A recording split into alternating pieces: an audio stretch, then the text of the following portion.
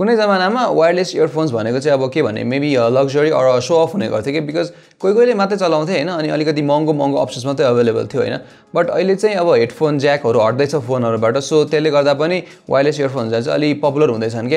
अनि त्यसले गर्दा युज बढेकोले गर्दाखेरि इयरफोन्स वायरलेस इयरफोन्स भने अलिक राम्रो हुँदैछन् र there also cheaper options available अहिले चाहिँ होइन?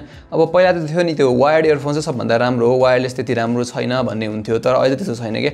अहिले चाहिँ अब एकदम इम्प्रुभ हुँदै गएको छ कनेक्ट हुँदा पनि टाइम लाग्दैन फोनसँग होइन।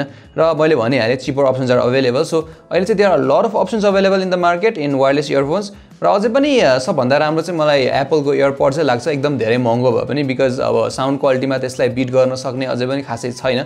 बट स्टिल बजारमा अहिले यति धेरै अप्सन्स अभाइलेबल छ कि अनि हामी चाहिँ अहिले we're exploring the options that are available in Nepal नेपालमा पाउन सकिने नेपालमा किन्न सकिने चाहिँ बेस्ट वायरलेस इयरफोन्सको बारेमा हामी कुरा गर्न गइरहेका छौँ सबै प्राइस रेन्जमा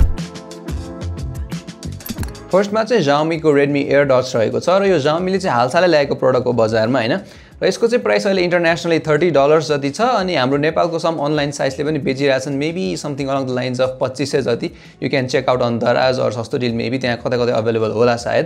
होइन र त्यो ब्रान्डेड इयरफोनको लागि त्यति प्राइस चाहिँ I think it's all right because यसको क्वालिटी पनि राम्रै छ होइन। साउन्ड क्वालिटी इज रिच एकदम गुड म्युजिकहरू सुन्नलाई चाहिँ भोकल्सहरू पनि एकदम क्लियर सुनिन्छ इन्स्ट्रुमेन्टल्सहरू पनि राम्रै सुनिन्छ। जस्ट बेसमा चाहिँ अलिकति कम्प्रोमाइज गर्छ सो बेसी म्युजिक सुन्न मन लाग्नेहरूलाई चाहिँ यो प्रडक्ट होइन but still for all other purposes it's a good earphone यो इयरफोन चाहिँ यसो हेर्दा स्यामसङको ग्यालेक्सी बस जस्तै देखिन्छ। इभन यसको केस पनि त्यस्तै छ र ब्याट्री चाहिँ साढे तिन घन्टा जति मजाले टिक्छ। प्लस यसको केसले चाहिँ यो इयरफोन्सलाई झन्डै तिनचोटिसम्म चार्ज गर्न सक्छ। र अर्को यसको राम्रो कुरा चाहिँ यो इयरबड एकदम हल्का छ क्या कानमा धेरै बेर राख्दा नि फरक पर्दैन। कन्ट्रोल चाहिँ धेरै छैन जस्ट म्युजिक प्ले र पज गर्न मिल्छ र फोनमा गुगल असिस्टेन्टसम्म ट्रिगर चाहिँ गर्न मिल्छ। तर अब त्यही हो यो इयरफोन चाहिँ अहिले नेपालमा चाहिँ अफिसियली चाहिँ अभाइलेबल छैन जस्ट अनलाइन साइट्सहरूले चाहिँ ल्याएर बेचिरहेछन् मैले भनिहालेँ पच्चिस सयदेखि मेबी फोर्टी फाइभ हन्ड्रेडसम्म कता कता प्राइस हेर्दै गयो भने डिफ्रेन्सहरू पनि थाहा हुन्छ। बट अहिलेसम्मको बेस्ट डिल चाहिँ ट्वेन्टी फाइभ हन्ड्रेड जतिमा पाउन सकिन्छ। So you have to look out for that अर्को नम्बरमा चाहिँ हाम्रो रिम्याक्सको एउटा इयरफोन छ वायरलेस होइन? रिम्याक्स चाहिँ अडियो एक्सेसरिजमा वेल नोन ब्रान्ड नै हो। र एयरपोर्ट्समा पनि Remax provides a lot of options अनि among the many options रिम्याक्सको TWS three is another good wireless earphone है। यो टिडब्लुएस थ्रीको मेजर फोकस चाहिँ पावर र पोर्टेबिलिटी हो। त्यसैले यसमा चाहिँ टु थाउजन्ड मिली एमको ठुलो ब्याट्री छ केसमा अनि त्यसले गर्दा चाहिँ तपाईँको त्यो एयरपोड्सलाई लगभग बिसचोटिसम्म चार्ज गरिदिन सक्छ कि? सो घुम्न जाने रोड ट्रिपहरू ट्रेकिङहरू जाँदाखेरि चाहिँ एकदम सुइटेबल हुन्छ। अब साउन्ड क्वालिटीको कुरा गर्दाखेरि चाहिँ it's a pretty good earphone होइन? यसमा साउन्डहरू रिच छ। र त्यही हो यसमा पनि अलिकति सस्तो इयरफोन्सको प्रब्लमै त्यही हो अलिकति बेस चाहिँ पुग्दैन सो यसमा पनि अलिकति बेस चाहिँ पुग्दैन बट स्टिल अरू सब कुरा दामी छ साउन्ड रिच छ भोकल्सहरू एकदम क्लियर सुनिन्छ र यसको अर्को एडभान्टेज भनेको चाहिँ लाउड भोल्युम्समा पनि डिस्टोर्सन चाहिँ हुँदैन क्या होइन त्यसले गर्दा चाहिँ एकदम राम्रो अप्सन पनि बनाउँछ प्लस अब पावर र पोर्टेबिलिटी छँदैछ सो धेरै टाइमसम्म म्युजिक सुन्नको लागि चाहिँ एकदम सुइटेबल पनि हो। र यसको चाहिँ अहिले price around fifty three hundred जति रहेको छ र यो चाहिँ रिम्याक्सको अफिसियल सोरुममा मजाले अभाइलेबल छ। Next up is Samsung Galaxy Buds र स्यामसङ ग्यालेक्सी बज चाहिँ एप्पल एयरपोडसँग कम्पिट गर्न ल्याएको इयरफोन हो स्यामसङले बट मेरो विचारमा यसले कम्पिटिसन चाहिँ दिन सक्दैन खासै। त्यही पनि they are pretty good earpods र बेस्ट पार्ट चाहिँ यसको मोडर्न डिजाइन र कम्फोर्टेबल बिल्ड हो।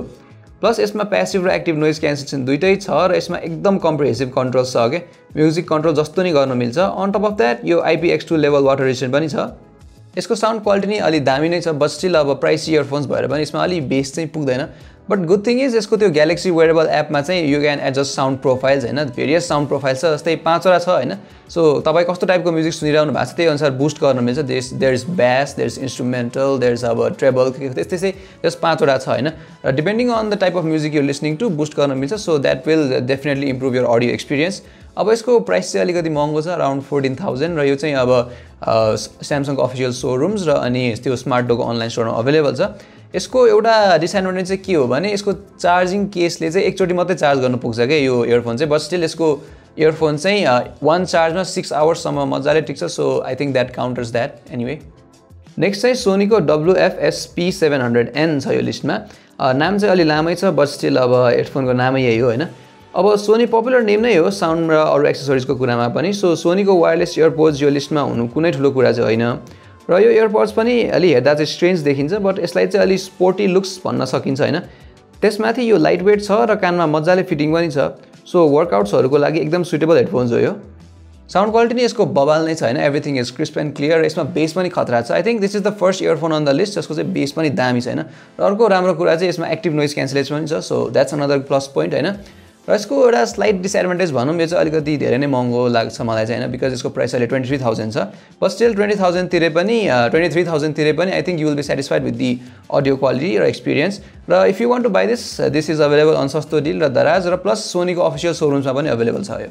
ओके सो लिस्टको टपमा चाहिँ एप्पल एयरपोड्स टू छ र I think this is no surprise because मैले अगाडि भनिसकेको थिएँ एप्पलको AirPods is the best sounding AirPods अहिलेसम्म चाहिँ।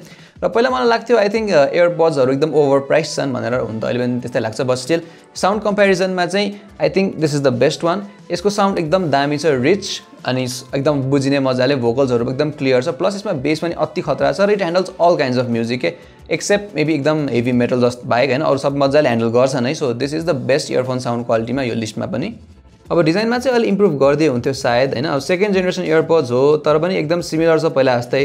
डिजाइन मलाई खासै राम्रो लाग्दैन पहिलादेखि नै तर अब लाइट वेट र कम्फोर्टेबल चाहिँ छ सो इट्स ओके र एयरपोड्सको फुल फाइदा उठाउन चाहिँ आइफोन हुनैपर्छ किनकि आइफोनमा यसले सबै फिचर्स दिन्छ जुन चाहिँ एन्ड्रोइडमा हुन्न। त्यति हुँदाहुँदै पनि महँगो नै भए पनि still one of the best wireless AirPods price चाहिँ यसको अराउन्ड ट्वेन्टी फाइभ थाउजन्ड पर्छ वायरलेस चार्जिङ केसवालाको चाहिँ थर्टी थाउजन्ड छ। सो यो चाहिँ अहिले हाम्रो ओली स्टोरमा अफिसियली अभाइलेबल छ पनि होइन?